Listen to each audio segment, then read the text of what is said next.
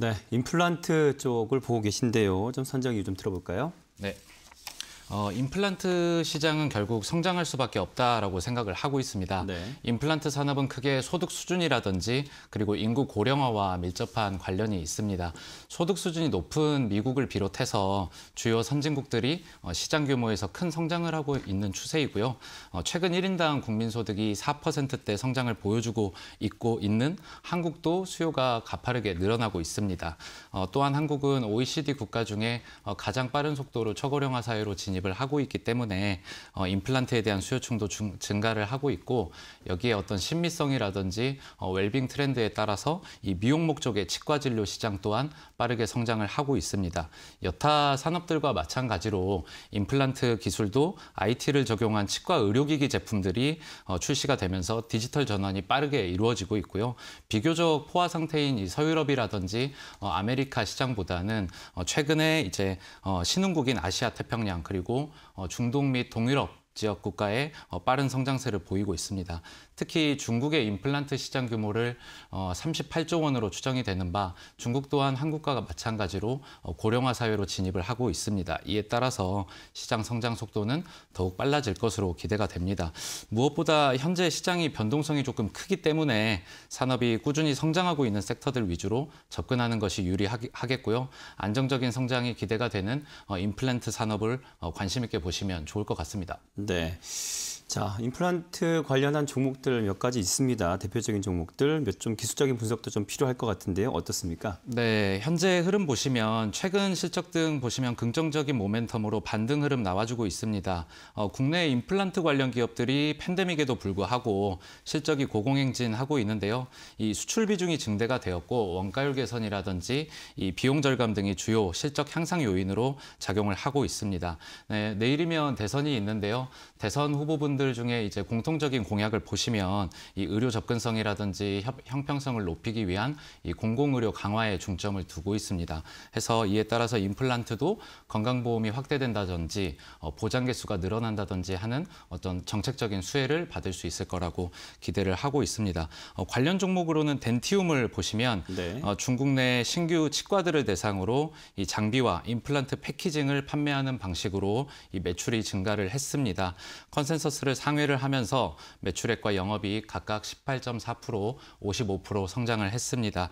전체 매출에서 약 7% 정도는 어, 러시아에서 매출이 발생을 하고 있지만 네. 어, 러시아의 루브라를 직접 결제하지 않고 어, 유로라든지 달러, 달러를 결제를 하면서 리스크가 해칭이 되고 있습니다. 러시아 매출이 아니더라도 매출의 80% 이상이 아시아 지역이라든지 국내 지역에서 발생을 하고 있기 때문에 올해 성장에도 크게 문제는 없다는 게 회사 회사 관계자들의 중 론입니다. 네. 어, 디오를 보시게 되면 네. 이 중국향 매출액도 92억 원으로 전년 동기 대비했을 때 15% 정도 정도 성장을 하면서 어, 전사적인 수출 달성을 어, 수출 실적을 달성을 했고 국내 매출액도 같은 기간 6% 성장한 어, 128억 원을 달성을 했습니다.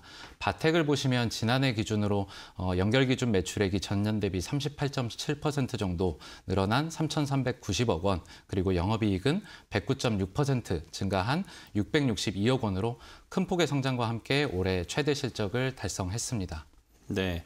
자, 바텍이 뭐 디오나 덴티움에 비해서는 실적 굉장히 잘 나온 걸로 보여지는데요.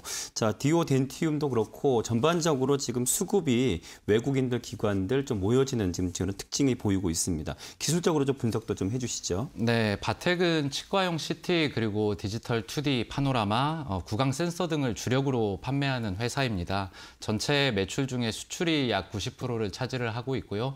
어, 100여 개국의 글로벌 시장에 수출을 함으로써 네. 어, 세계 세계적인 임플란트 시장의 성장에 따라서 긍정적인 영향을 받을 것으로 풀이가 됩니다.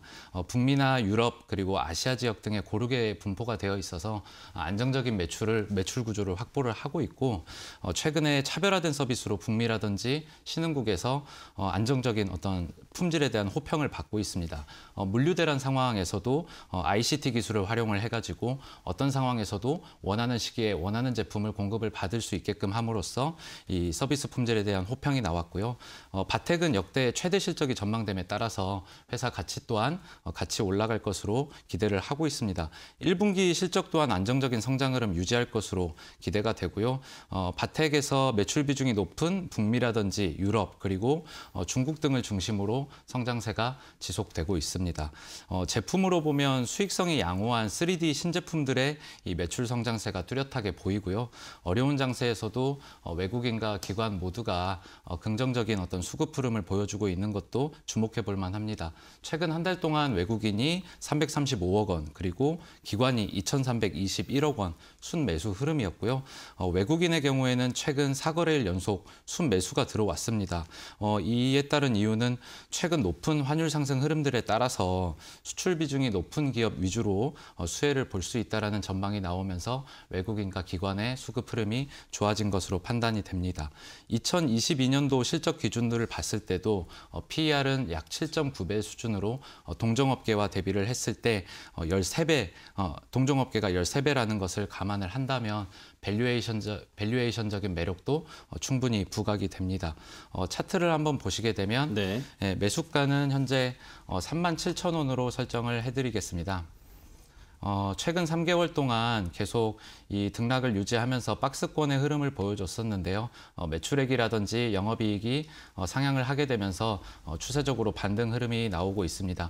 해서 현재 가격에서도 충분히 매수는 가능하지만 워낙 이 변동성이 크고 불안한 어, 잠재 요소들이 많기 때문에 분할 매수로 접근하시는 것을 추천을 해드리고요. 이 목표가는 4만 4천 원대로 설정을 하겠습니다. 어, 과거에 반등 흐름이 나와줬을 때이 매물대들이 이쪽에서 물량이 쌓, 쌓여주면서 여기에 큰 매물대들이 형성이 되어 있습니다. 해서 이 물량을 소화하는 기간이 필요할 것으로 보이고요. 이 1차적인 목표가를 뚫게 됐을 때 장기적으로는 4만 원에서 5만 원까지도 볼 수 있을 것 같고 이 손절 라인은 3만 2,800원으로 설정을 하겠습니다. 이 전 저점보다는 높은 상황인데 어, 이쪽 하단이 뚫렸을 때는 또 추가적인 하락 흐름이 나올 수 있기 때문에 만약에 이쪽을 어, 뚫고 내려간다면 어, 현금으로 다시 전환을 하셨다가 어, 현재점 뚫어 뚫고 다시 올라가는 시점일 때 어, 매수를 해주시는 부분으로 분할 매수로 접근을 해보시면 좋은 결과 있을 거라고 풀이가 됩니다. 네. 자, 오늘 뭐 양시장 좀 하방 압력 속에서도 임플란트 관련 종목들 디오나 덴티움, 바텍은 강보합권에서 상승부를 켜고 있습니다. 어, 특히나 이제 가장 주목하신 종목이 바텍으로 보신 거고요. 매매 전략 있어서 지금 현재 가격이 38,350원 선인데 어, 지금 현재 가격도 매수가 가능하다는 거 참고하시기 바랍니다. 자, 테마니슈 오늘 테스타 자산관리의 기성하 대표와 함께했습니다. 오늘 말씀 고맙습니다. 감사합니다.